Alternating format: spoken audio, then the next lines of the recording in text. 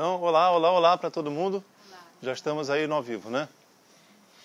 Então, aqui, só um lembrete: quem estiver aí no ao vivo, dá um sinal de vida aí. Fala assim: Oi, estou aqui, estou aqui, para eu saber mais ou menos como é que está o movimento aí. E se tiver alguma pergunta, pode fazer, tá bom? Aí a, a Dani lê, lê aí as perguntas e passa para mim aqui. E a transmissão ao vivo, ela é muito instável, tá bom? Ela cai toda hora. Mas é o que a gente tem e não vai dar para melhorar não, é isso aí mesmo. E, mas só que para suprir isso aí, ó, o Ricardo está gravando ali atrás, o Ricardo está lá atrás gravando. O que o Ricardo está gravando vai para o YouTube daqui a duas semanas, essa aula aqui todinha, tá bom? Então quem perder aí, achar a transmissão ao vivo ruim, é só assistir daqui a duas semanas no YouTube, no canal do YouTube canal, mesmo nome da, da página do Facebook, é Encontro Transcendental. O problema é que transcendental é uma palavra muito difícil de escrever, mas é Encontro Transcendental.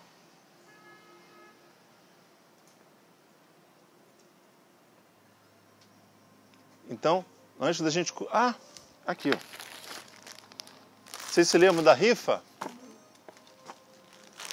Quem ganhou a rifa foi a Francisca, não foi? Foi.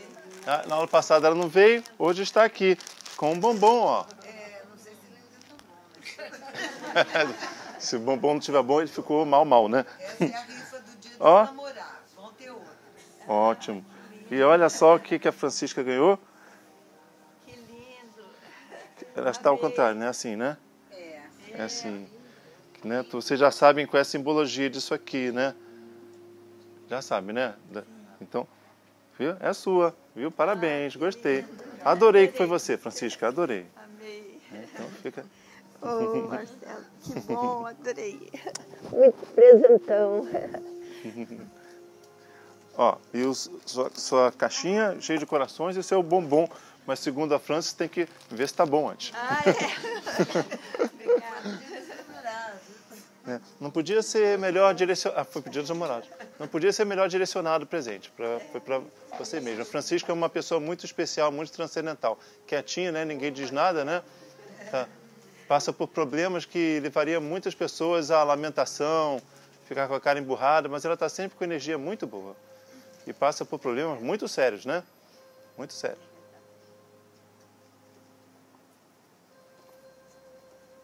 Um dia encontrei a Francisca, estava lá perto do Rio Sul, né? Estava no ônibus, né? Um ônibus cheio de sacola na mão. Era cheio de sacola na mão de supermercado. Eu falei, que é isso? Ela tem que, como não tem supermercado perto da casa dela, tem que pegar um ônibus, faz compra e volta no ônibus cheio de compra. e estava com a maior cara risonha, com essa cara sem vergonha aí. Então, adorei que foi você. Adorei mesmo. Eu adorei também. E hoje, antes. Viu? Obrigada ela que né, promoveu a Foi, rifa, foi. é. Iniciativa da Francis. Muito bom. 250 reais. Ganhamos 250 reais aí, né? A mais, é. Beleza, ótimo. Para complementar, né, a nossa rendinha aqui. É, comple- complementar É, os donativos. Reais, quer dizer, duas Tá aulas. ótimo. Foram duas aulas só. Viu? Foram só duas aulas, tá ótimo. Você vê que cada um faz uma coisa, cada um faz outra, né? Isso, isso é ótimo. Essa energia é muito boa, né? Essa iniciativa, foi tudo muito bom, né? Só isso já é uma vitória muito boa. E a Francis também traz a nossa comidinha, né? Que hoje temos maçã com canela. Que a Francis já me avisou que parece que está sujo, mas não está, porque é canela. Não é? E está ali na canga de Shiva. Beleza. E ganhamos também da Mônica. Olha o presente que nós ganhamos. Olha. Que pena linda e grande, né? É que vocês não estão vendo daí, mas tem até um tom lilás aqui em cima. É muito. Vai ficar aqui, sempre enfeitando a nossa aula. Isso é um simbolismo védico muito usado, muito usado mesmo, simbolizando tudo de bom, como a vida tem que ser leve e feliz. A vida não tem que ser uma coisa horrível e pesada, tem que ser isso aqui. Quem estiver fora dessa energia aqui, não está bom não. Tem que chegar nessa energia aqui. Uma coisa assim, essa, isso tem que ser a gente. Não é? Isso aqui. Você vê as pessoas assim. Tu... Não é isso, né? Aliás, a aula de hoje vai ter bastante a ver com, com a peninha e o oposto da peninha. Mas antes de começar o nosso tema, o... vocês se lembram da aula passada? Para falar uma experiência que aconteceu comigo. Se lembram? Qual foi o, o tema da aula passada? Principalmente, foi o, o girassol e o sol, não é? Eu até dei o vídeo que o Ricardo gravou da aula passada, eu até dei o nome do girassol ao sol, que vai para a semana que vem lá no YouTube. Toda segunda às 11 horas é que vai a aula, tá bom? Então, segunda. Não, já está é Missão Impossível. O do girassol ao sol já está? Não, né? Depois eu vou ver isso aí. De repente até tá, eu sou todo destrambelhado mesmo. Aí, mas não tá não, não tá. O Ricardo já falou que não. Tá. Ah, no Facebook foi ao vivo aí, isso. Então, o que, que aconteceu comigo nessa semana do girassol ao sol? Vamos falar sobre isso. Por quê? Sempre quando temos um tema aqui, é interessante que a gente observe o que vai acontecer nas nossas vidas que remete a esse, a esse tema, entendeu? Isso é muito bom. Aliás, a aula serve para isso. E é geralmente, como é interesse do universo que a gente evolua, geralmente a espiritualidade já nos conduz a situações para a gente desenvolver o que a gente aprendeu de conhecimento. Bhagavad Gita é isso, é aprender na prática. Tanto é que a história do livro o que, que é? É uma guerra, não é isso? É uma guerra, aquela coisa, é um conflito muito grande. E Krishna ensina para Arjuna naquele, no meio da guerra. Ele podia ensinar para Arjuna num, num, num monastério, no ashram, né, em cima dos Himalaias, mas não é o objetivo da gente. Por que, que o Bhagavad Gita é ensinado no, nesse contexto de guerra? Para simbolizar o que a gente tem que fazer na nossa vida a gente aplicar os conhecimentos transcendentais nos contextos de conflito, principalmente de conflito do nosso dia a dia. E não ficar em casa pensando, estudando, que é interessante também, mas a gente tem que fazer isso e, na hora dos conflitos, tem que baixar a ficha e aplicar, senão não vai adiantar muito pouco. Então, geralmente, a espiritualidade vai nos conduzir a essas situações, principalmente de conflito. E olha só o que aconteceu comigo, certo? Então fiquem de olho em tudo que vai acontecer. Aí vocês já sabem que quando o tema da aula for pesado, sabe aquele tema de as nossas características negativas, coisa ruim, aí vocês nem venham, porque para não terem que viver isso depois. Então o que aconteceu comigo? Eu conversei com alguns profissionais, porque eu andei vendo na internet, assim, internet eu fiquei eu fiquei assim muito parecia que algo estava me avisando, veja a internet, é, esse negócio de, de dos Vedas, do conhecimento transcendental, entra, eu fiquei fiquei pensando muito nisso, até e aí eu resolvi entrar na internet. Aí eu vi que tem várias pessoas que dão cursos pagos desses assuntos que nós estudamos aqui. Aí eu pensei, olha, quer saber? Acho que vou entrar nessa. Por que não, né? Vou ganhar um dinheirinho com isso, vou investir nisso e vou fazer uns cursos pagos também pela internet, vou ver como é que é, vou tentar entrar nesse meio aí. Isso ficou muito na minha cabeça. Aí eu conversei com uma amiga e dois profissionais. Eu teria que investir um certo dinheiro para para alguém que sabe fazer divulgação, depois tem que investir mais um dinheiro é, é, em alguém, uma, uma, uma sociedade, uma empresa, para fazer o site ser comercial, entendeu? Essas coisas aí. Mas é um dinheiro que daria para investir, sabe? Tudo bem, aí em vez de, de trocar de carro daqui a cinco anos, eu troco daqui a dez, tudo bem. Eu faria isso, entendeu? Faria. Eu estava bem empolgado mesmo. Mas aí, olhem só, eu vou comentar isso com vocês, quero que vocês me ajudem também a decidir, se bem que eu já decidi. Mas é o exemplo do girassol e do sol. resumidamente, eu teria que aumentar o meu número de seguidores. Mas eu já sou uma figura conhecida no mercado. Porque eu já dou aula há uns 10 anos, assim, muita gente me conhece. Mas mesmo assim, essa empresa aí que, que faz uma, tem que ter uma empresa para fazer uma divulgação de, de, de marketing, né, de, de internet. Faz parte. E aí aumentaria, aumentaria o meu número de seguidores. Vai, vão acompanhando. Aí, aí até aí eu estava assim, yes, oh yes, yes, let's go, very good. Estava assim, muito bom, muito bom, vamos nessa. Aí, vamos aumentando o número de seguidores, chega uma hora que chega mais ou menos num patamar. Quando chegar nesse patamar, pronto, esse é o meu número de seguidores assim para a base de cálculo. Sempre pode aumentar ou diminuir, mas vai ter um número de seguidores para a base de cálculo, entenderam? Então, desse número, esse meu universo de seguidores, quando eu montar o curso pago, as pessoas que vão frequentar o curso pago são 1% do número de seguidores. 1%. Essa é a estatística atual dessas três reuniões que eu tive. Uma amiga e dois profissionais.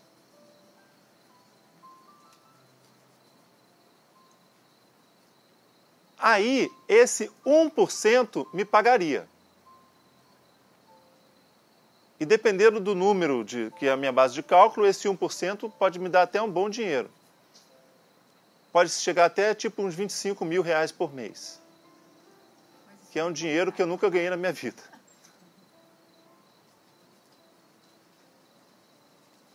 Aí começaram os meus questionamentos, meus comigo mesmo, entendeu? Se você, você estava aqui na aula passada, o que era a pessoa girassol? A pessoa que está, tem a pessoa ego, a pessoa girassol e a pessoa sol, não é isso? Então quem não estava aqui já vai recordando. Ó, pessoa ego, qual é? É aquela que não está nem aí, que vive para o próprio ego e não se trabalha e vive no dia a dia. 99% das pessoas. Tem os que se trabalham, que querem querem um desenvolvimento e tem, querem desenvolver uma consciência espiritual e se trabalham para isso. Essas são o girassol.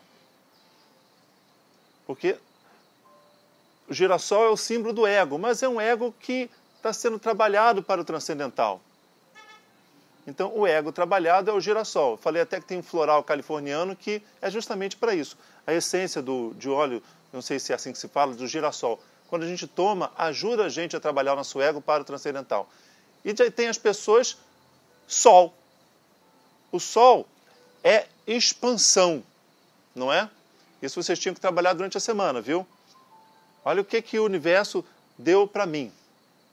O sol é expansão, expansão, expansão, expansão. Cara, as pessoas estavam ali falando na minha frente, 1%, 1%, 1%. Aí eu, caraca. Eu vou pegar os 100%, que é a base de cálculo, transformar em 1%, que é o que vai me pagar. 100% transformar em 1%. Isso é expansão?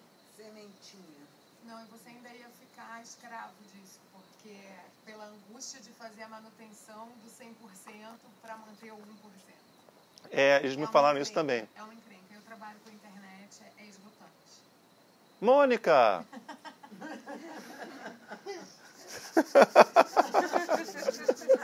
Já temos uma consultora transcendental aí. aí, mas olha só. Você não acha que isso foi fácil na minha cabeça, não, gente eu vivi uma semana difícil, eu comigo mesmo. As pessoas estavam me falando em dinheiro. Quem não precisa de dinheiro? Caramba, aqui eu não ganho nada. Às vezes até pago, e pago com prazer. Esses painéis aqui eu paguei 450 reais por ele para ficar, mas ficou bonito e eu paguei com prazer, pagaria até mais. Né? E, eu gosto, mas dinheiro que é bom eu não ganho. E aquela pessoa estava me falando de dinheiro. Eu, caraca, e 1%. E, e 1%, caraca. Aí eu falei, vamos parar a conversa, eu vou para casa e vou refletir. Não acha que foi fácil a reflexão, não. Eu fiquei em casa sofrendo, mais sofrendo do que refletindo. Aí, ia acontecendo situações, nessa semana, que, assim, que eu tinha que pagar, entendeu? Tinha que pagar. Custaram caro para mim. Aí eu falei, caramba, eu tenho que pagar. Olha a necessidade do dinheiro, eu preciso do dinheiro. E o cara falando do dinheiro, e 1%, e o dinheiro, e 1%. Ah, e um detalhe, eu teria que parar de dar aula aqui. Porque o cara falou assim, as pessoas, olha, não adianta, não adianta você fazer um serviço pago na internet se você faz um serviço gratuito. É obviamente que todo mundo vai para o gratuito. Ou então você faz o seguinte, você faz gratuito é, é, num, numa, num nível bem básico. Eu vou conseguir fazer isso? Eu vou, eu vou ficar aqui omitindo o conhecimento só para obrigar. Ah, quer mais? Paga. Pague. Aí está aqui na ponta da língua. Eu falei, não vou falar. Eu falei, não vou conseguir fazer isso, cara. Não vai rolar. Aí essa turma teria que acabar. O que poderia ser feito, porque a gente já está no capítulo 18, só temos 18 capítulos mesmo, eu aproveitaria o final do livro e terminaria a minha missão aqui nessa turma. E aí me dedicaria apenas para a internet. O que, que eu decidi? Não vou fazer isso. Aí dispensei os profissionais, né, que eu nem contratei, né? E vou deixar tudo como está. E eu preciso do dinheiro? Eu preciso porque todo mundo precisa do dinheiro. Como é que eu vou dizer que eu não preciso? Mas assim, se eu tivesse assim uma necessidade real do dinheiro, seria outra coisa, entendeu? Se eu tivesse, por exemplo, filhos para criar e estou sem dinheiro para pagar a alimentação dos meus filhos, convênio médico, essas coisas escola, aí eu teria que entrar nessa onda, teria que entrar, eu preciso do dinheiro. Mas eu não tenho isso. Eu preciso do dinheiro porque todo mundo precisa, é isso. Mas eu tenho um emprego que me dá um salário. Eu estou fazendo um conflito com vocês aqui, entendeu? Eu tenho um emprego de gente normal também, que me dá um salário. Eu nunca vou ser rico, mas eu preciso ser rico?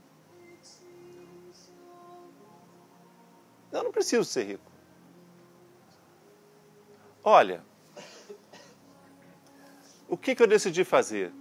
E eu pensei na aula passada também. Vocês acham que eu não aprendo com a aula? De repente eu sou o que mais aprendo aqui. Talvez seja eu que, o que mais precise aprender. Eu só tenho o dom de passar. Aí, eu decidi renunciar ao dinheiro. Vou deixar tudo como está.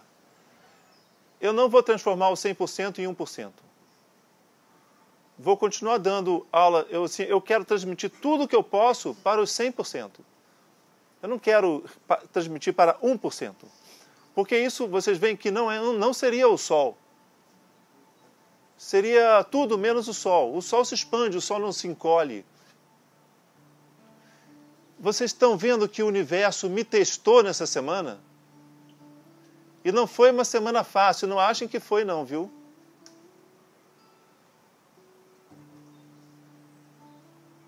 E já está decidido, eu simplesmente renunciei. Essa turma expande tanto quanto eu gostaria? Não, não expande não. Expande menos. Esse conhecimento é tão bom e eu acho que poderia ser tão. poderia expandir tão mais. Mas pensei nisso também nos meus conflitos. Poxa, não expande tanto, tá, tem lugares vazios aí, se bem que a internet colabora para isso, né? Porque o pessoal assiste de casa? A qualidade do, da gravação do Ricardo é muito boa. Né? O Ricardo é para o YouTube. Né? Inclusive, ele é um profissional, já falei, que faz serviços de, de gravação, de fotografia. Né? Depois até tem que conversar com você, Ricardo, sobre algumas coisas aí. Tem pessoas já interessadas. Depois vamos conversar. Então a qualidade dele é boa, a qualidade do vídeo no YouTube está boa, tem microfonezinho aqui que dá um som bom, tá vendo? As pessoas ficam em casa assistindo. Aí... Enfim, eu gostaria que expandisse mais. Desculpe se eu estou alongando, gente. Aqui isso fez tanta, tanta, mexeu tanto a minha cabeça. Eu queria que vocês compartilhar isso com vocês assim de coração. Nem estou preocupado em fazer uma boa didática. Peraí, rapidinho, rapidinho. Nem estou preocupado em falar uma boa didática. Só quero expressar o que eu senti. E depois que eu tomei essa decisão, eu me senti muito feliz. Sabe, muito feliz mesmo. Eu acho que eu cumpri um passo na missão do sol. Pode ser que dê errado, pode ser que a turma não expanda, pode ser que se encolha. Sabe, isso é um resultado futuro. Eu não vou dizer que eu sou completamente desapegado do resultado, não. Eu não sou, não. Eu sou apegado ainda. Mas isso é um resultado futuro. E eu sei que a gente tem que ter desapego aos resultados, eu sei disso. Eu sei que eu não tenho, mas eu sei que eu tenho que ter.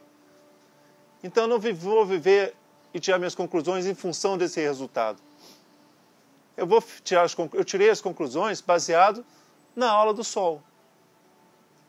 O universo está testando para ver se eu aceito o mundo do sol dentro de mim. E me testou com tentações. Né? Cristo também foi testado com tentações e todo mundo é. O tempo inteiro são tentações do ego. E a duras penas, não sei se ainda 100%, mas eu venci as tentações, não sei se ainda tem 100% não, porque tem uma parte de mim que ainda não está firme nessa ideia mas eu dispensei os profissionais. Falei, olha, vamos encerrar os assuntos aqui e estamos todos aqui, juntos aqui, nesse encontro transcendental. e eu estou muito feliz de estar aqui. Muito feliz mesmo. O que, que aconteceu de diferente aqui, da semana passada para essa semana? Nada. O lugar é o mesmo, o livro é o mesmo, o conhecimento tem um assunto novo, mas é a mesma coisa. Nada de diferente mas na minha vida aconteceu algo de diferente. Eu estou um pouco mais solar do que na semana passada. E isso faz toda a diferença. O mundo fica sempre igual. O mundo não muda, não. A gente é que muda. E a gente que fica mais feliz. E a gente não tem que ficar mais feliz porque o mundo ficou melhor. O mundo vai ser essa mesma coisa que é, com doçuras e sofrimentos. Sempre, o mundo vai ser assim. Se a gente depender do mundo para ser feliz ou infeliz, a gente está ferrado. E eu aprendi isso também. Eu já sabia disso, mas vivi na prática. Eu não dependo do mundo para ser feliz, eu dependo de mim. E eu fiz a minha parte comigo mesmo.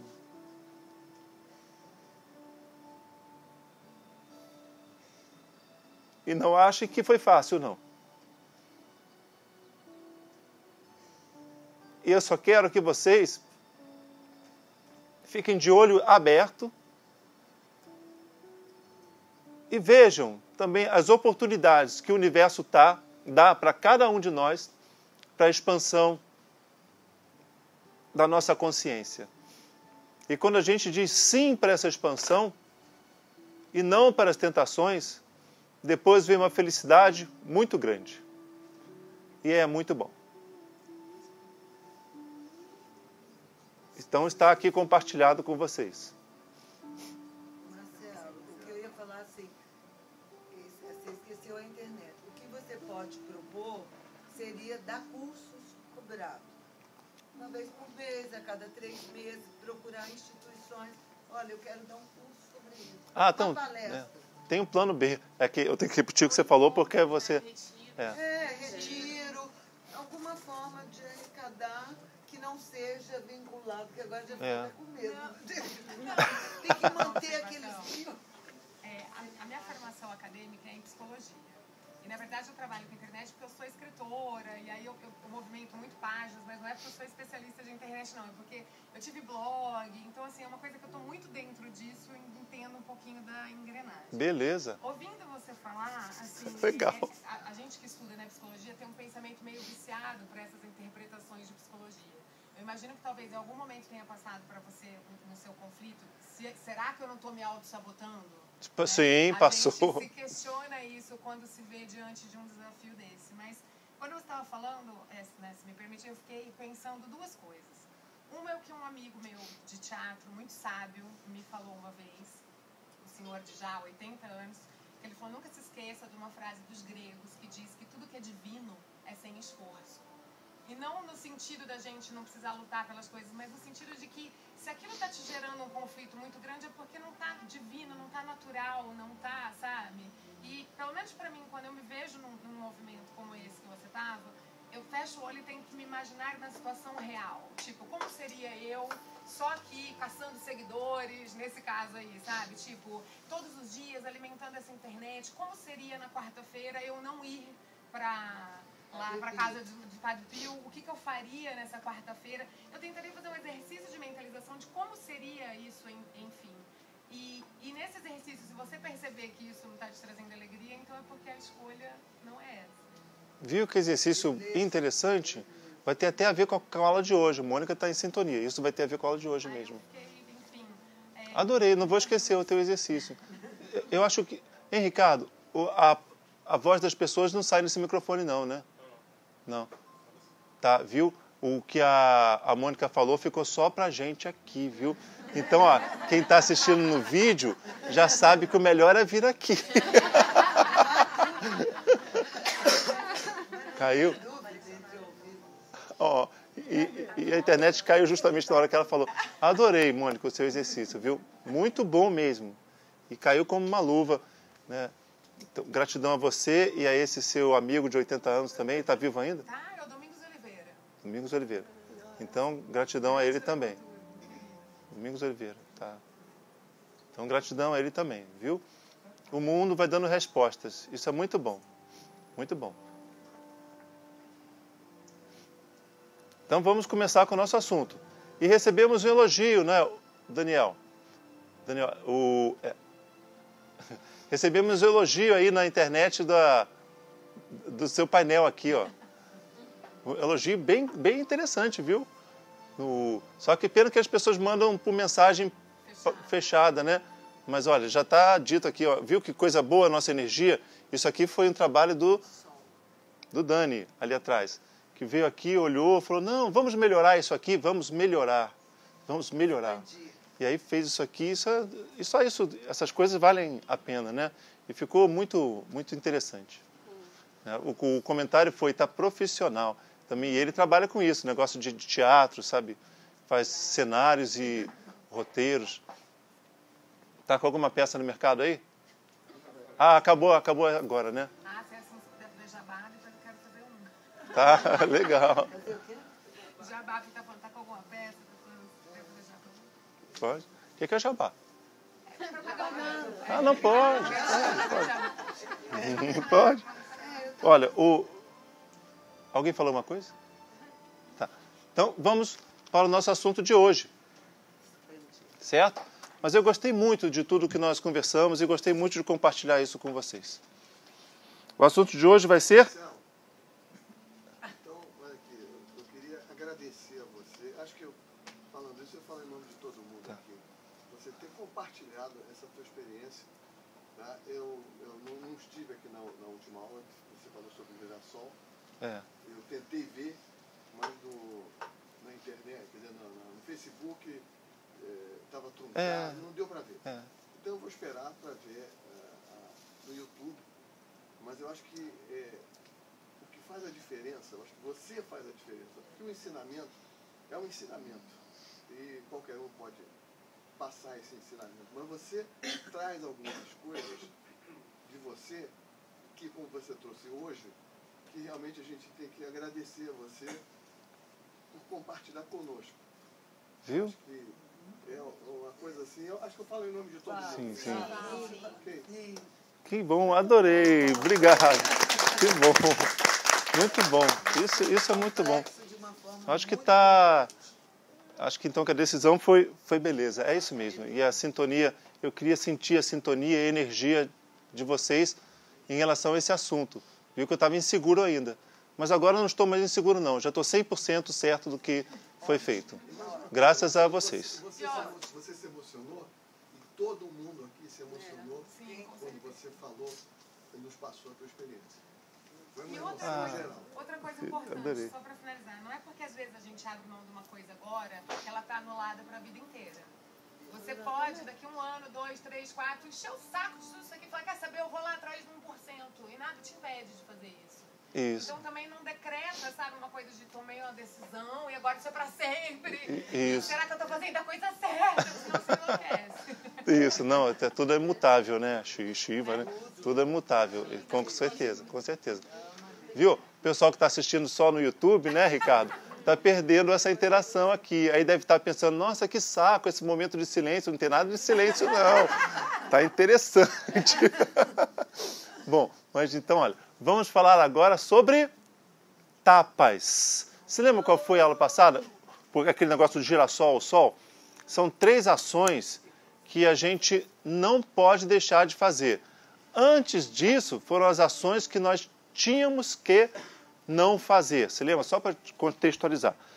No início do nosso assunto, né, duas aulas atrás, são as- eram as ações proibidas. Se lembram? Então aí a gente falou de, de coisas que nós consideramos proibidas ou não, sabe? Coisas da gente. E depois, bom, isso foi a duas aulas. Aí na aula passada, depois das ações proibidas, foram as ações que nós temos que fazer.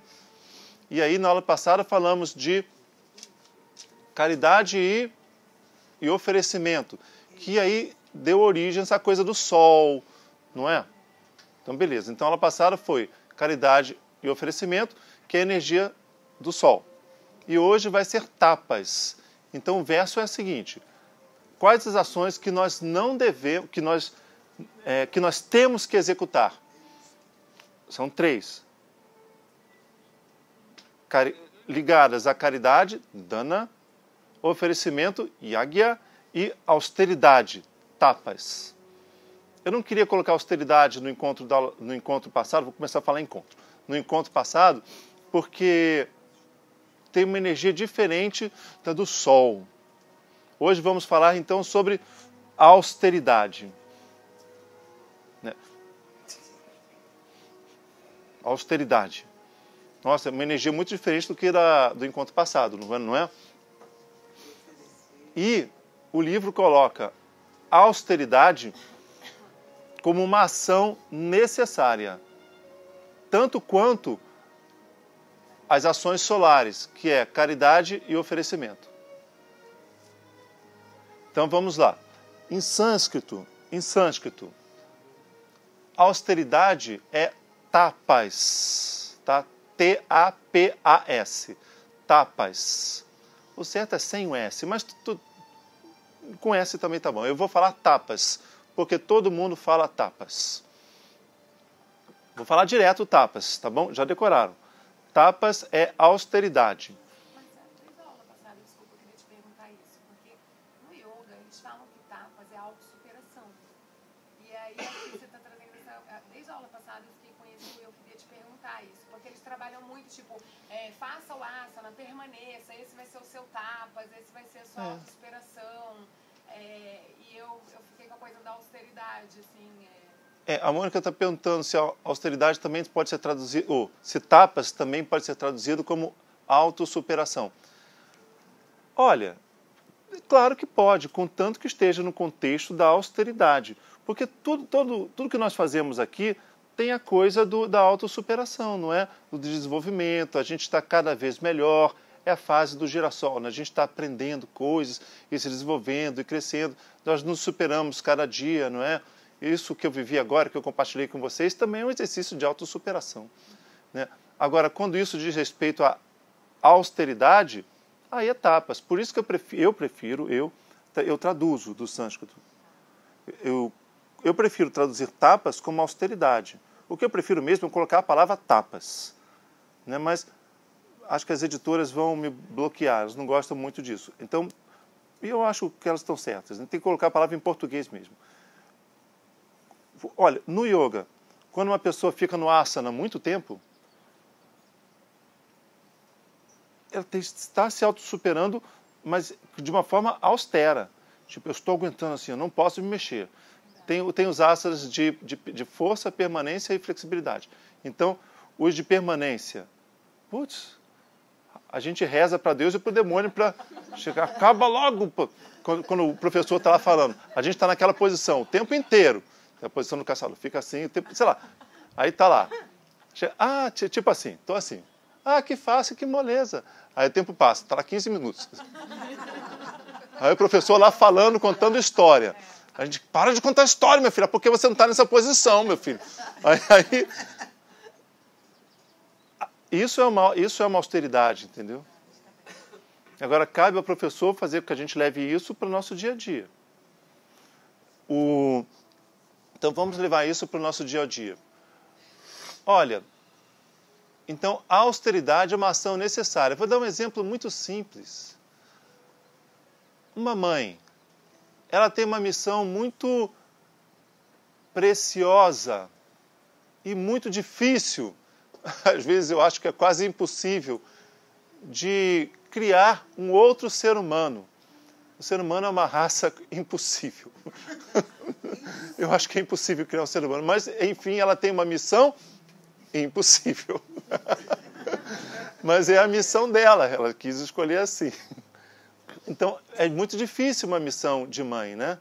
Quem é mãe sabe que o bicho pega, desde o nascimento até para sempre. Se essa mãe não tiver um bom relacionamento com tapas, ela não vai conseguir ser mãe. Isso é óbvio. Porque ela não vai aguentar. Ela vai, ela vai falar: Nossa, eu pensei que eu ia ter um, um príncipe encantado, um bebê, um. Não é? Mas aí nasce e vê que é um ser humano, né? Que caga. E chora no meio da noite, e é cheio de coisas, e é difícil. E começa a ver que é um ser humano normal. Isso aconteceu comigo. Eu fui o primeiro filho, né? minha mãe achou que ia nascer um anjinho azul e nasceu um ser humano normal que chorava, que chorava no meio da noite. Aí a minha mãe ficou louca. A minha mãe tinha 20 anos quando ela me teve. Muito cedo, né? Por volta de 20 anos. E ela enlouqueceu, enlouqueceu comigo mesmo. Ela era uma pessoa e ficou outra. Ficou. Aí ela, ela vivia, num, vivia num conto de fadas e graças ao ao ser humano normal, que não tem nada de anjinho azul, ela caiu no, no mundo normal aqui. Bom, ela, se ela não desenvolvesse, se ela não tivesse dito sim para o lado da austeridade, ela não teria me criado. Eu não estou dizendo que ela disse sim 100% das vezes, não. Mas, então, por que, que o conhecimento diz que a gente não pode abandonar a ação de tapas? porque senão a gente não faz as nossas coisas. É tão claro isso, né? Claro e simples demais. E vamos falar sobre isso hoje, tá bom? O próprio processo evolutivo não é a nossa missão, todo mundo, nossa missão aqui agora e na vida, não é? Não é tão bonito o processo evolutivo, não nos traz tanta felicidade, é tão doce e agradável, é, é porra nenhuma. Olha o que, que eu vivi essa semana. Foi doce, agradável? Não foi, não. Eu podia ter dito o seguinte: ah, quer saber? Foda-se, foda-se tudo, vá, vá, toma, não quero saber de mais nada. Poderia fazer isso, não é? Então eu teria dito não à austeridade. Mas eu falei assim: não, não, tudo bem. Esses profissionais vieram a mim, eu senti uma necessidade aqui dentro, de, me, de entrar no mundo da internet, ver como o universo chama a gente. Entendeu? Eu comecei a ter uma necessidade de entrar e ver, pesquisar esses caras que dão aula. Eu comecei a ter essa necessidade. E fui, fui. Chamei os profissionais, marquei reunião Tudo isso é tapas. Depois eles começaram a me falar coisas, eu, caraca, que isso? Que isso? Tudo isso é tapas. Se eu não entrar na onda do tapas, se eu não tivesse entrado, eu não teria tido o resultado transcendental que hoje aqui, graças a vocês, graças à nossa união aqui, eu tive certeza que foi um resultado transcendental. Mas eu teria esse resultado transcendental se eu, não, se eu tivesse cedido ao tapas, se eu não tivesse tido a força para ir em frente, a força. Então depois a gente vai falar da força. Se eu não tivesse tido essa força, eu teria ido em frente? Sim ou não? Não. É óbvio. E eu lembrei disso também. Porque eu tive vontade de falar, ah, quer saber? Então vamos parar com isso aí, vamos parar com essa história. Mas aí eu estaria dizendo não à ação tapas. Certo? Então, olha só, já vai a dica. Não, pode dizer não ao tapas. Mas aí vamos destrinchar um pouquinho.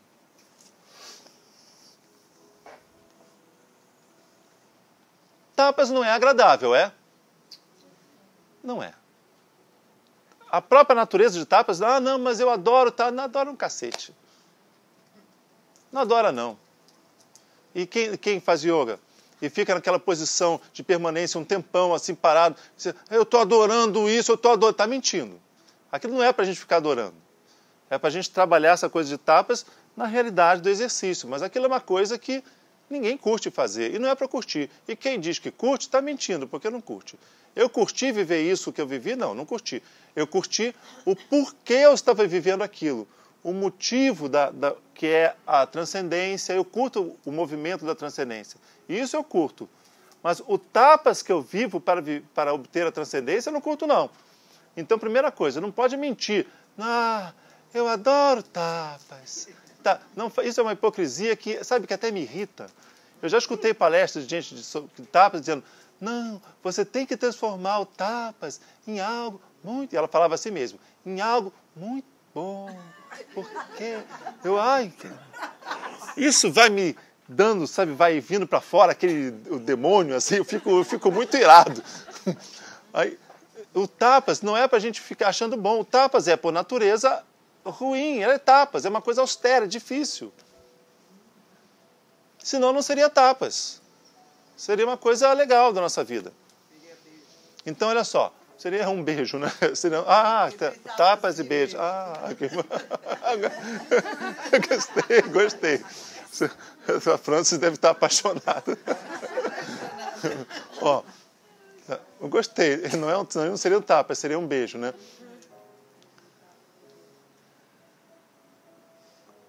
Como é que a gente vai se relacionar com tapas na nossa vida? Porque tem um grande risco.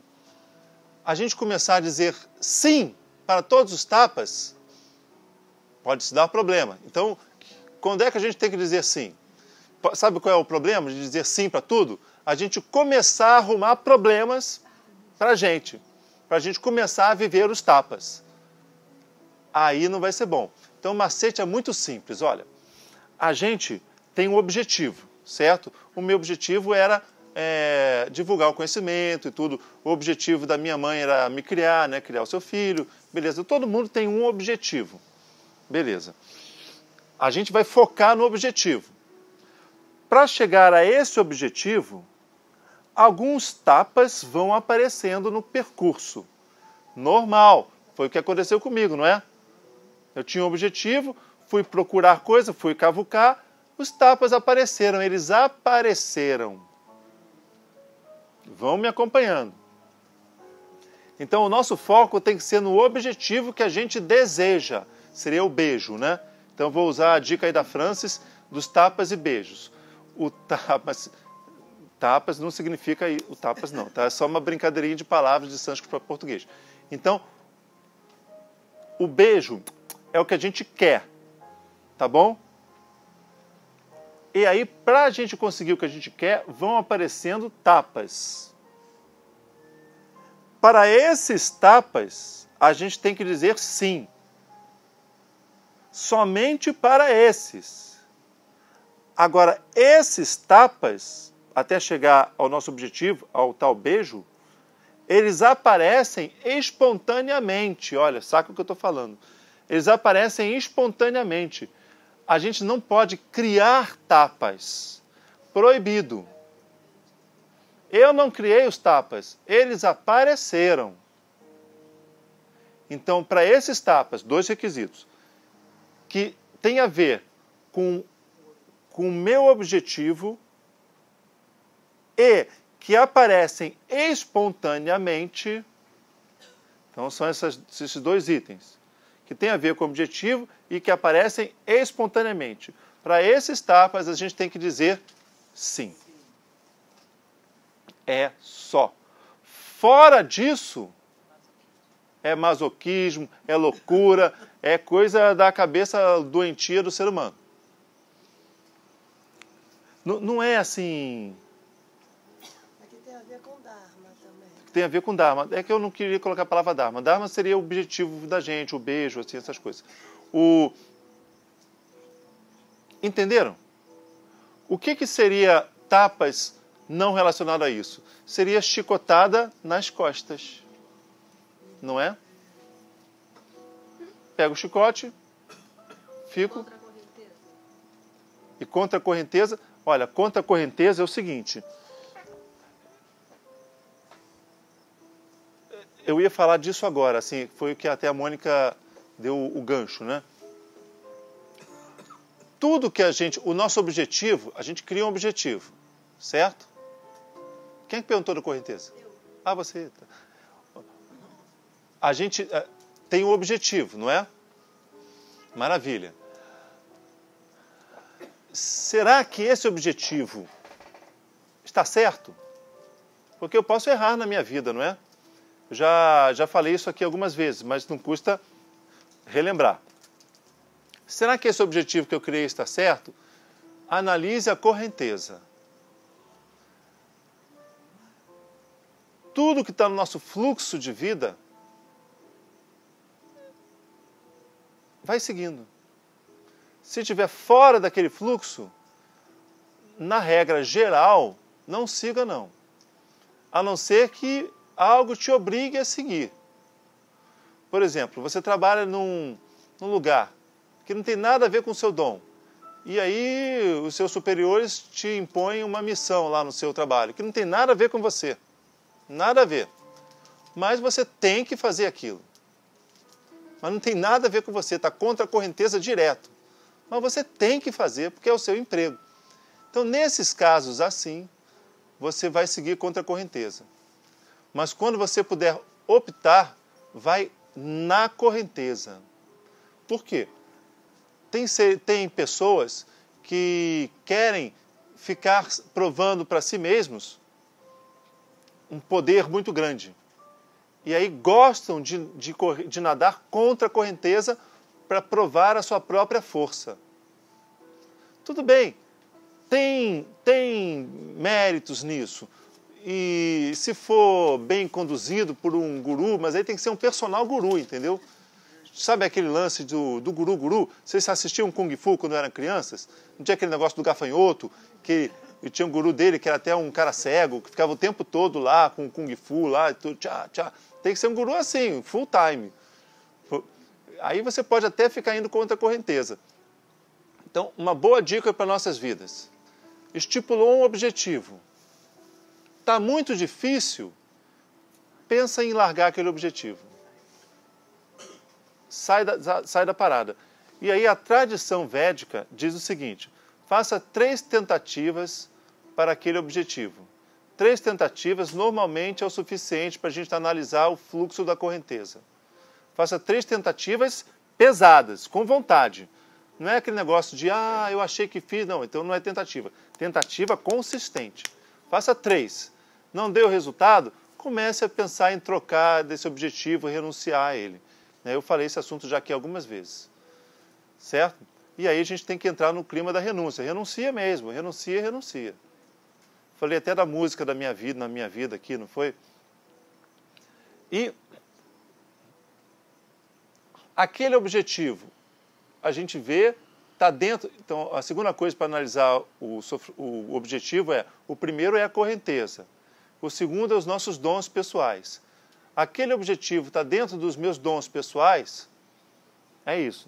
Então, para analisar se o objetivo está certo, tem essas duas coisas: análise da correnteza, três tentativas, e análise do meu dom pessoal. Aquilo tem a ver com o meu dom pessoal?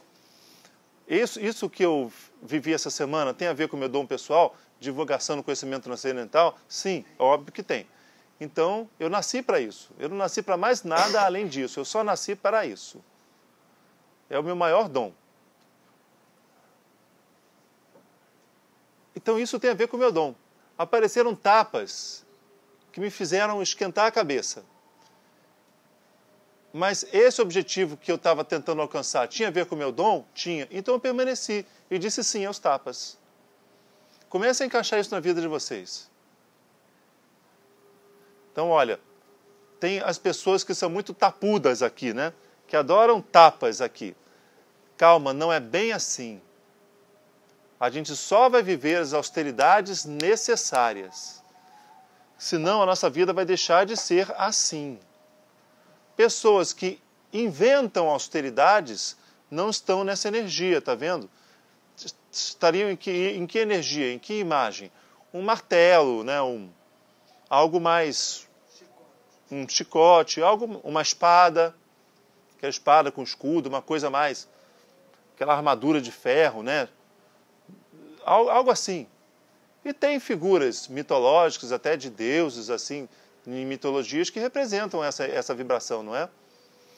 Mas a gente não vai querer isso pra gente. É, a gente quer essa energia, tá bom? Vou repetir, olha, se buscar austeridade está errado, não está errado, não, mas vai precisar de um personal guru. Porque tem uma parte dos Vedas que indica a busca de austeridades. E tem yogis, até hoje, que fazem austeridades com o próprio corpo. Eles provocam dores no próprio corpo, eles provocam dores só para poder superar a dor. Caraca! E isso está nos Vedas. Eles ficam nus no frio, sabe, deitam em camas de espinho, ficam andando em cima de coisas quentes demais, sabe? Ou então fazem jejuns de 40 dias, dois meses, sabe? Eles, eles se impõem o sofrimento. O jejum de práticas religiosas, as pessoas estão se impondo sofrimento. Então estão buscando austeridades desnecessárias. Mas isso são práticas védicas e práticas de outras filosofias também, que podem ser boas, mas precisa de um personal curu, tipo Kung Fu gafanhoto. Mas não é a nossa realidade. Então, o nosso estudo aqui, os ensinamentos de Krishna, eles sugerem um, a doçura, a busca da coisa feliz, do beijo. Tá bom? Até porque a nossa vida é muito curta. Se a gente ficar buscando austeridade, a gente vai transformar a nossa vida numa merda. e ninguém quer isso, não é? Tá bom macete? Olha, algo que a austeridade desenvolve na gente é, seria um efeito secundário. É, em sânscrito é bala. Bala, bala igual bala. Que é, em sânscrito, é força. Bala em sânscrito, em português é força, poder. Né? Mas antes de desenvolver esse assunto, Patrícia ia fazer uma pergunta. Tentativas. Tá. Você está vivendo a tua vida, de repente acontece alguma coisa completamente inesperada que você não procurou por ela. Ela aconteceu. Você está ali, ela veio. Vê. Veio normalmente sem você fazer nenhum esforço. Só que para que você viva isso, você tem que enfrentar um caminho. É. Isso. Aí você faz a primeira tentativa no caminho da bola preta. Aí você faz a segunda tentativa, outra bola preta. Aí você faz a terceira tentativa, outra bola preta. Aham. Mesmo aquilo tendo aparecido na tua vida naturalmente, sem que você estivesse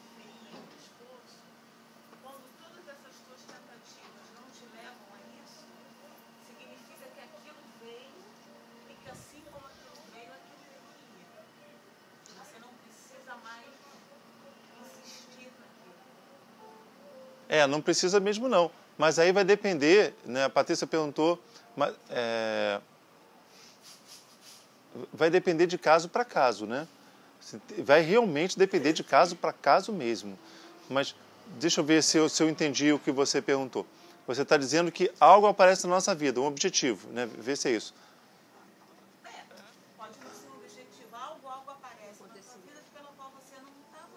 É, de seguir aquilo. Isso. Isso, isso, isso, isso, isso.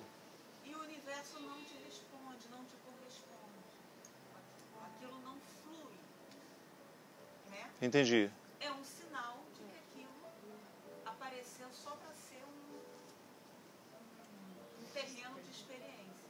Entendi, entendi. Olha, Patrícia está dizendo, apareceram, apareceu um objetivo na nossa vida, né? O objetivo que nos chama a atenção. Aí a gente vai e tenta viver aquele objetivo. Aí tenta uma, a gente, nossa, eu gosto daquilo, uma coisa que a gente gosta. É, a gente vai e tenta viver aquilo, né? Mas aí nunca dá certo. A gente deve renunciar àquilo? Depende, depende, depende. As três vezes a qual você. É. O- A resposta técnica é tenta, tenta, tenta. Não deu certo, renuncia. Essa é a resposta, mas calma, calma. Precisa conversar. Quer renunciar? Por quê? Que coisa é essa que apareceu? Essa coisa tem a ver com o contexto da sua vida? Você tem um sentimento forte de ir naquele sentido? Eu tenho que entender você, entendeu? Eu tenho que entrar na sua alma. Eu tenho que ver o que o que está te levando a, a fazer aquilo. Qual é o, o quanto aquilo está vivo dentro de você ou morto. Você lembra que eu já falei isso aqui? Se aquilo estiver vivo dentro de você, eu vou dizer: opa, viva. Porque senão, Patrícia, sabe o que vai acontecer? Jesus não ia fazer nada do que ele fez. Porque ele vai por um caminho, porrada. Vai por outro, porrada. Vai por outro, porrada. Tre- Ele falou: não, olha, três vezes, acabou. Acabou. Aí ele vai, ele vai fazer o seguinte: alguém tem que conversar com ele, olha só, alguém tem que chegar lá e conversar com ele, aí ele marca uma consulta, aí eu vou ver, é uma brincadeira, claro, né? Eu vou ver, aí eu vou analisar o quanto aquela chama está viva dentro do coração de Jesus, entendeu? Aí eu vou falar com ele e vou chegar à conclusão fácil, ia ser um dinheiro mole, que aquela chama está muito acesa dentro dele ainda. É o que você falou de Shiva, né? Isso, Dá para cortar o que ainda está isso. Se tiver vivo, não pode cortar, não. Não pode. Não pode. Sabe por quê? Você leva bola preta. Ah, é. Mesmo que leve. Você tem que, é. você tem que analisar se aquilo está vivo dentro de você. Que não é uma análise muito fácil, não. Mas, mas você tem que, você tem que, eu não vou voltar a falar dessa aula, né? Mas vocês têm que se lembrar. Não sei se o Ricardo não gravava nessa época ainda, mas é, algo, a gente às vezes a gente acha que está vivo, mas está morto. Era o caso da música na minha vida, se lembra disso? É, mas a chama de Jesus pelo transcendental, por mais que ele sofresse, estava acesa na vida dele. Outras chamas estavam apagadas. E ele foi deixando tudo para trás. Foi deixando tudo. Ele viveu só para isso. E morreu, aí ele morreu. Ele se deu muito mal, ele morreu. Mas ele morreu na chama boa que estava acesa na vida dele. Então ele morreu bem. E isso precisa de uma conversa muito próxima, entendeu? De alguém que te ama muito, de alguém que tenha o dom de ver a sua alma, e de alguém que conversa com você, porque quando a gente conversa com uma pessoa, geralmente a gente conversa o seguinte: a gente projeta a gente mesmo na outra pessoa, né?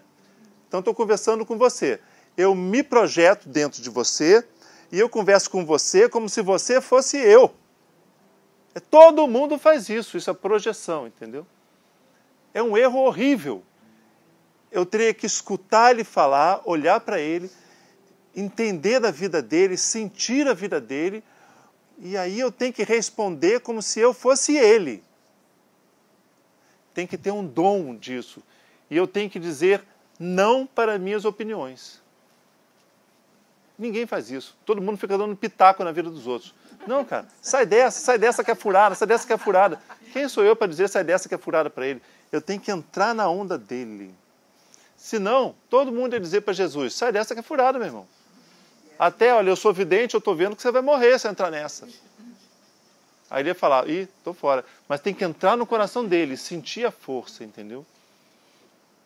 Foi bom Patrícia ter perguntado isso, até porque o que a gente fala aqui, a gente fala, depois a gente destrincha, parece até uma, que as coisas se confundem, se contradizem.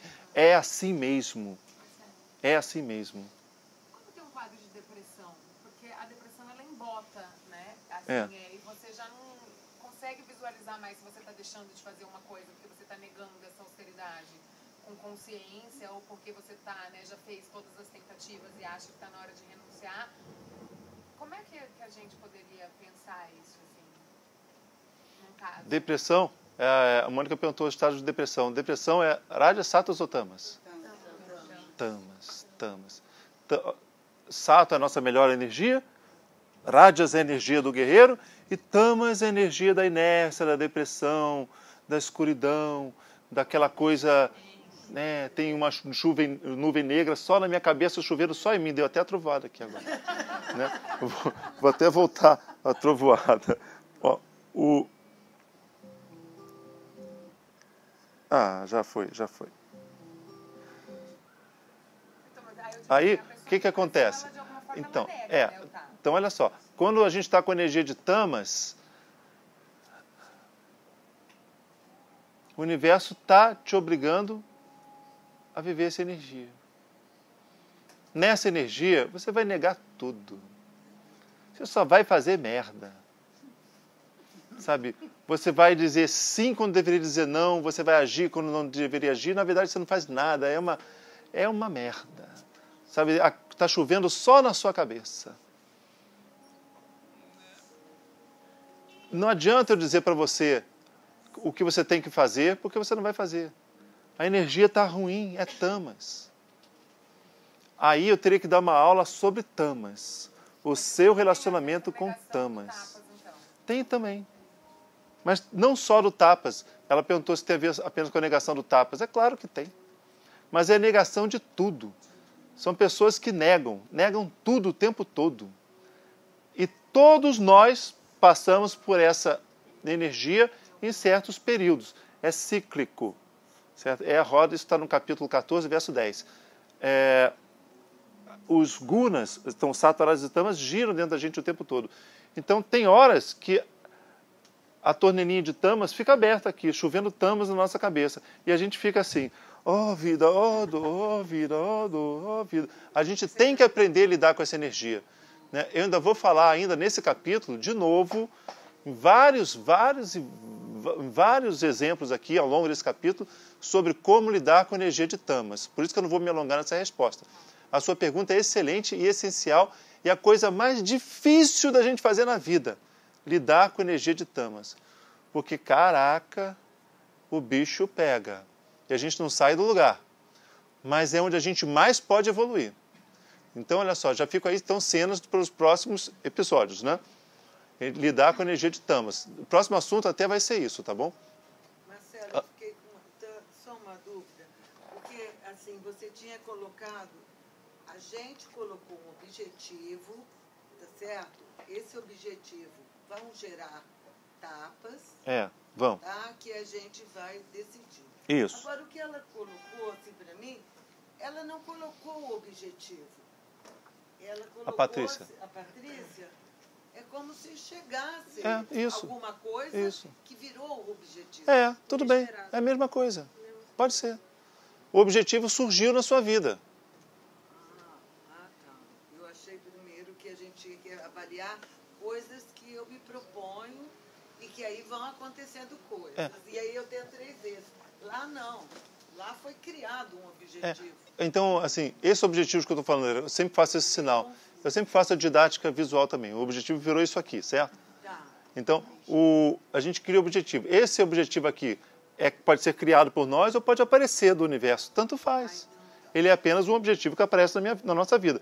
O conhecimento transcendental, ele apareceu na minha vida, eu não busquei. Eu busquei outras coisas. Arquitetura eu busquei. O emprego que eu tenho hoje eu busquei, eu fiz concurso para ele. Busquei muito. O conhecimento transcendental apareceu. Foram coisas.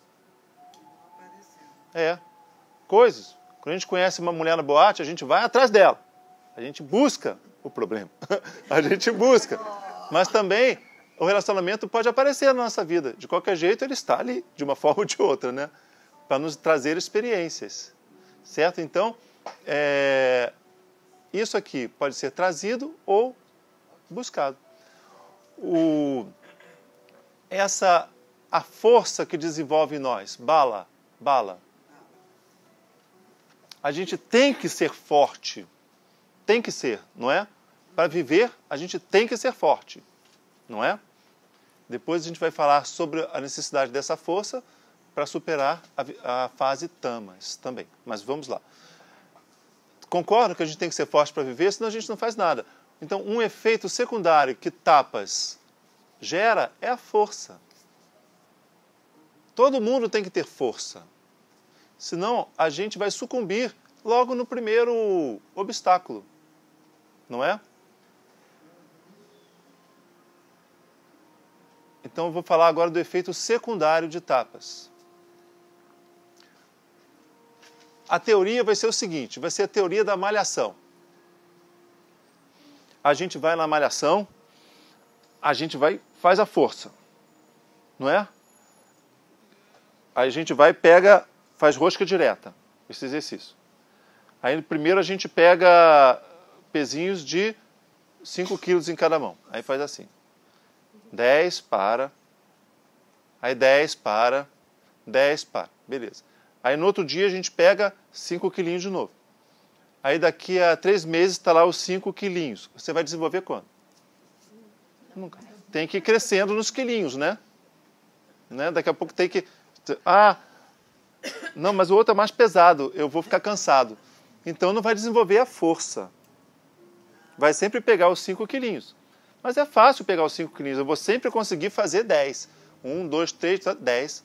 Fiz, cumpri minha missão. Tem que ter. Ah, mas por que você não aumentou? Ah, o professor não mandou. Já tem que ter consciência. Ó. Por isso que é errado mar... ficar marcando na ficha o peso. Não é uma boa. O pessoal que usa fichinha é principiante. Tem, tem que saber. Hoje eu dormi mal, comi mal, vou botar um pouco menos de peso. Hoje eu dormi bem, fiz uma alimentação saudável. Hoje eu tô, ó, Hulk, pegar mais. Sabe? A gente tem que se controlando, mas sempre tem que ir com a consciência, essa consciência. A alba malha comigo, né, mano? O, tem sempre a consciência de hoje eu vou pegar mais. Aí daqui a pouco a gente está com 25 quilos, não, já, é, já é a barra, né? Aí daqui a pouco vai botando, daqui a pouco tem mais. Mas o, todo mundo que faz ginástica sabe que chega a um patamar. Esse patamar é a desgraça na vida do malhador. Que a gente vai. Hoje eu vou botar mais peso. Não dá. A gente tira a bolinha, tira a bolinha anilha, anilha, volta para aquele peso. Aí daqui a meio ano a gente está lá na, naquele mesmo peso. Já passou dos 5, já está no 40 quilos. Mas, putz, eu não aguento mais do que 40. Cara, eu não aguento. 40 é o meu limite, eu, eu não aguento mais. Que se fosse infinito, daqui a pouco a gente estava com uma tonelada em cada mão, né? Não é infinito. Então todo mundo tem um limite. Né? Todo mundo tem um limite, certo? olha o raciocínio. Ó. A gente vai crescendo na força, chega a um patamar. É um patamar meio instável, que às vezes a gente vai crescendo mais um pouquinho, depois cresce um pouco. É na hora do patamar que o malhador toma um anabolizante, ó, para voltar a crescer. Pra, não sabe conviver com o patamar. Aí ele toma E, e cresce muito, e a força cresce loucamente, mas também vai ter um limite. E aí ele toma coisa mais forte, daqui a pouco ele está um cavalo, e depois ele morre, né? Bom, mas, mas ele vai viver uma reta ascendente para a morte, mas tudo bem. Então, mas o que que acontece? É claro que anabolizante é uma merda, né? Com efeitos colaterais terríveis. Acreditem, gente, eu já pensei em comprar um anabolizante uma época atrás. Eu, eu não soube conviver com a época do patamar. Eu falo, como eu não consigo botar mais peso? Não pode, isso não pode acontecer. Eu venho aqui, todo dia eu faço esforço danado e eu não estou progredindo, até, sabe? Eu não soube conviver com o patamar. Mas o patamar existe. Às vezes a gente, mesmo no patamar, consegue mais um pouquinho, o patamar fica um pouco mais alto, mas é um patamar. Sacaram a teoria? É isso na vida. A gente tem força. E o movimento de força tem que ser ascendente mas chega uma hora que aquilo tem um limite. A gente tem que saber até onde a gente pode ir. Porque se eu pegar mais peso do que eu posso aguentar, né? O que, que vai acontecer comigo? Lesão. Lesão. Aí depois eu não vou malhar mais. Vai estar pesado. Né? Eu, eu, eu vou me ferrar. E não vai adiantar nada. Então, a gente vive, né? o malhador vive no limite, no limite da lesão mas ele tem que ter muita consciência desse limite. Por isso que o pessoal que fala assim, caminhar, eu faço caminhada para meu exercício é caminhada, não dá certo, cara. Porque ah, eu caminho muito para ir trabalhar, mas o percurso é sempre igual. Não tem crescimento. Ele caminha aquele trecho todos os dias, mesmo que seja muita coisa, não tem. Ele não é um caminhador, ele caminha sempre a mesma coisa, como se pegasse os 5 quilos todos os dias, entendeu? Está dando desculpa para a gente mesmo. Então, olha só, eu vou dar um exemplo prático do que aconteceu. Guardaram isso que eu falei do tum-tum?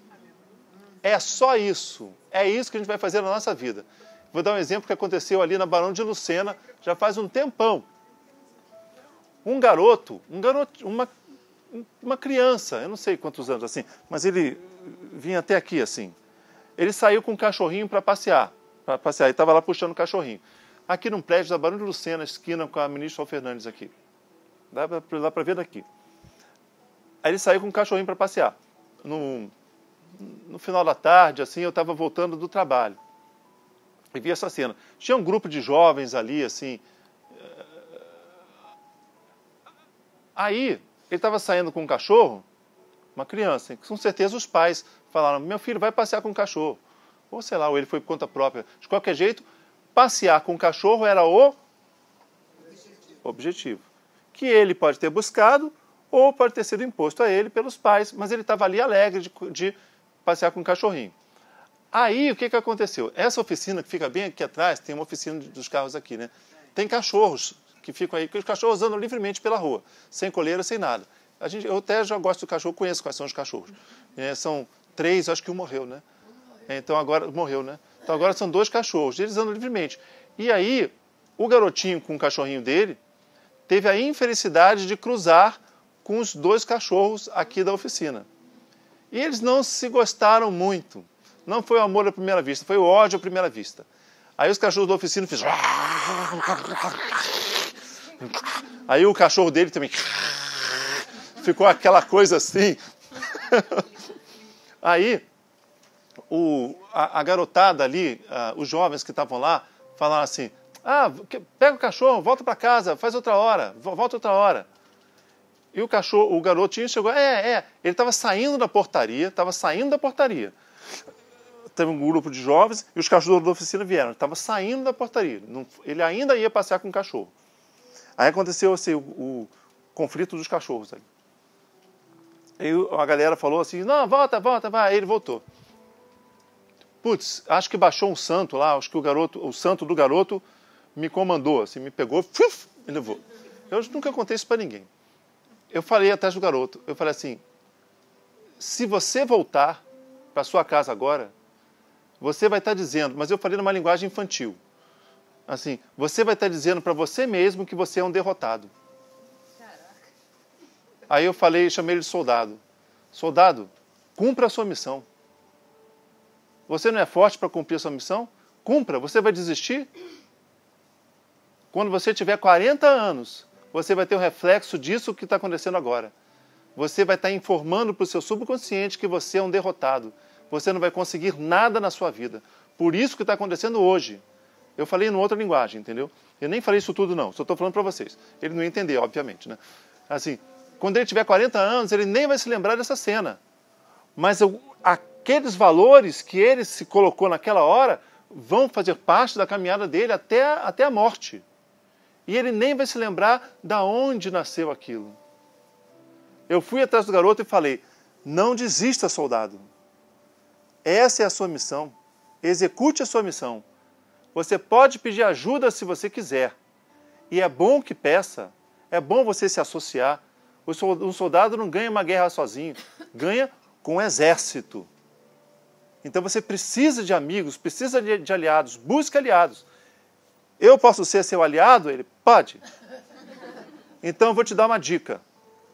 Pega o seu cachorro, o seu cachorrinho, ponha no colo. Ande com ele no colo, atravesse os outros cachorros. Eu falei alto para os, os jovens escutarem mas eu estava um pouco distante, mas eu falei alto e eu vi, acho que os jovens escutaram. Sempre vai ter gente babaca, gente merda, para te levar para o buraco. Aprenda a escolher o seu exército. Não dê ouvido a gente merda. Dê ouvido a quem te ajuda. E de... O seu cachorro no colo, atravesse essa gente merda, atravesse os cachorros e execute a sua missão. Eu vou andar com você até a esquina, mas não vou pegar o cachorro por você, não. Aí eu passei ali, olhando para os merdas, ainda bem que eles não me bateram. O garoto foi, passou a esquina. Na esquina, os cachorros já tinham ido embora, porque esses cachorros da oficina ficam andando o tempo todo. Né? Ele botou o cachorrinho no chão, e continuou a fazer o percurso dele.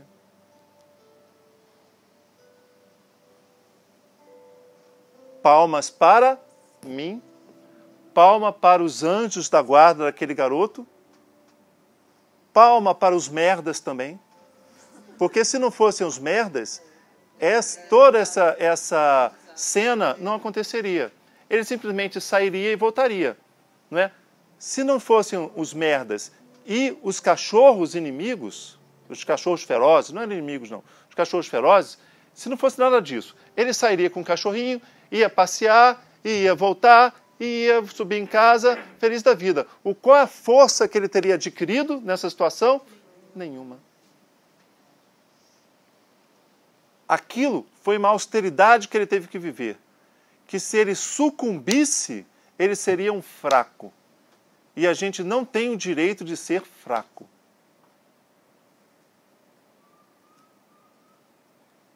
Esse exemplo eu nunca falei para ninguém. Estou falando hoje aqui pela primeira vez. Tomara que esse garoto escute essa gravação em, algum, sei lá, em alguma hora. O, o, é assim que a gente tem que fazer na vida da gente. A gente nunca pode sucumbir aos primeiros obstáculos. Então, olha, é a linha ascendente da, da malhação. Não posso sucumbir aos pesos. Não, eu vou. Ah, mas é mais fácil ficar nos 5 quilos. É mais fácil, mas aí eu não ganho força. Eu tenho que deixar isso, sucumbir uh, ao cansaço, sei lá o quê, e, e aumentar a, a, minha carga. Eu tenho que aumentar a minha carga. Eu não tenho que esperar professor, não. Eu tenho que aumentar por conta própria. Não é o professor renovar a série daqui a três meses, não é nada disso. Até porque ele não renova porra nenhuma. Aí, o que, que acontece? Um bom professor renova, né? Mas o. Então, isso é a linha ascendente. Mas tem um limite.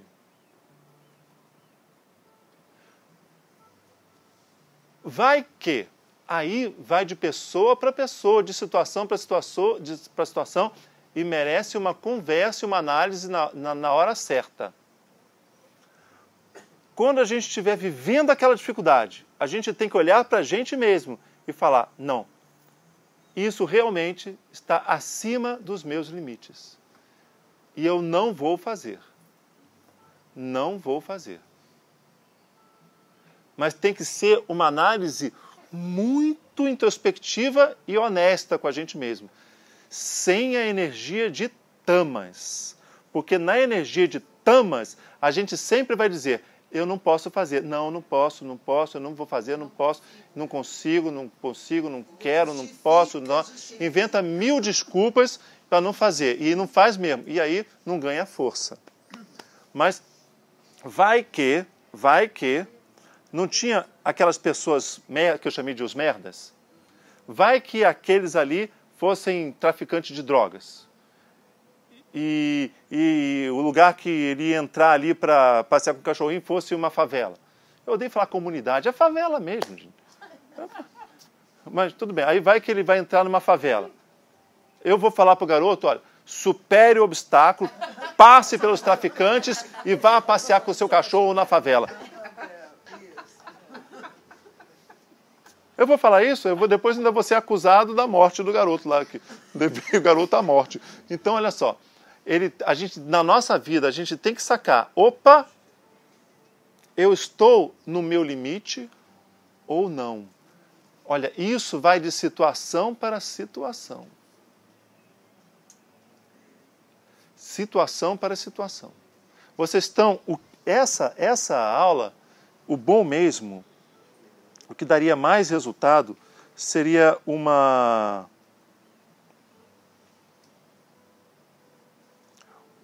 Vou ver uma música bonitinha. Seria o querer fazer, ousar e calar? Querer fazer? Ousar e calar. Deixa eu ver. Deixa eu ver uma coisinha bacana.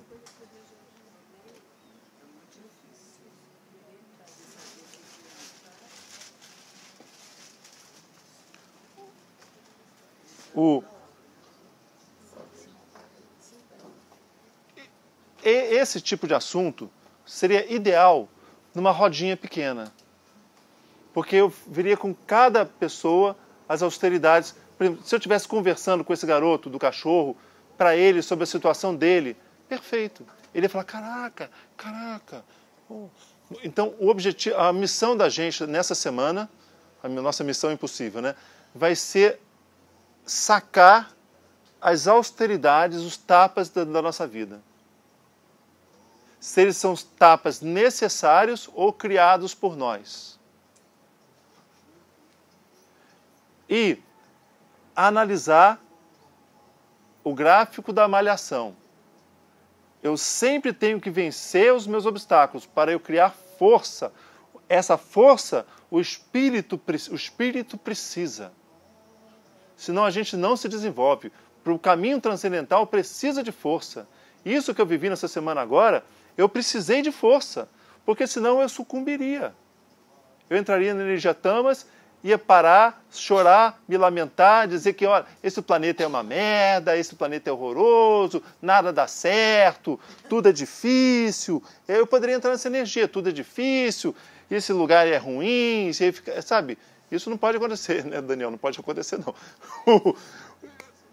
Se eu entrasse nessa energia, eu sucumbiria. Mas eu fui forte o suficiente para até esse ponto, né, para não entrar nessa energia. Então eu quero que vocês analisem na vida de vocês o gráfico da malhação. Mas geralmente as pessoas sequer vivem bem a linha ascendente ainda da força. As pessoas geralmente sucumbem antes do vértice do limite. Quando o gráfico tum, inclina, ali é um limite, certo? As pessoas sucumbem antes desse limite. Sucumbem por vários motivos. Então eu quero que vocês analisem isso. Na aula que vem, eu vou falar ainda sobre austeridade. E eu vou começar a aula falando um, sobre um filme. Se vocês puderem, assistam nessa semana. É, sobre como a gente vai lidar ou de forma positiva ou negativa com a austeridade. Tecnicamente seria Rajas Sattva e Rajas Tamas. como a austeridade pode ser bem aplicada ou mal aplicada na nossa vida. O nome do filme é um filme maravilhoso. Ah, não vou falar não. Vocês já viram que eu tô carente hoje, né? Eu tô carente. Então, olha só. O nome do filme é difícil falar. É Whiplash. Whiplash. É um garoto que toca bateria. E tem um professor dele de, de música. É um, um ator careca e um ator espetacular. Eu não sei, sabe como é que se fala? É, Whip, Whiplash é, ó. É W-H-I.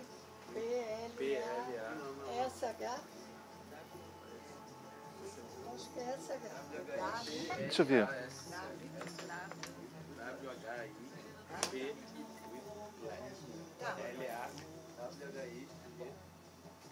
W-H-I-P-L-A-S-H. Então é isso, ó, W-H-I-P-L-A-S-H. Assistam esse filme durante a semana. Tem no Netflix, tá bom?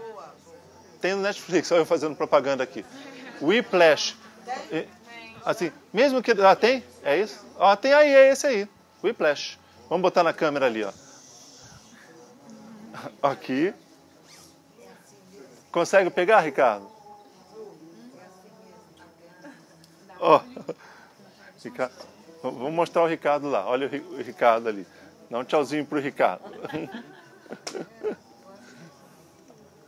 Então, olha só, esse filme mostra uma mostram pessoas muito austeras. E aí vocês vão avaliar, vendo esse filme, o assunto tapas. Vale a pena aquela austeridade ou não vale? O filme mostra assim, esse questionamento de uma forma espetacular. Vale a pena ou não vale aquela austeridade que o filme mostra? Tá bom? A gente vai começar na aula que vem aqui conversando sobre esse filme. Esse é um projeto que eu queria aplicar no futuro, sabia? Filmes, trabalhar filmes. Não sei como eu vou fazer isso, talvez seja por fora, né? cobrando, talvez, né? É. Mas então, gente, e não se esqueçam de avaliar as austeridades da nossa vida, tá bom? Tá beleza? Austeridade é muito importante esse assunto, tá? Namastê.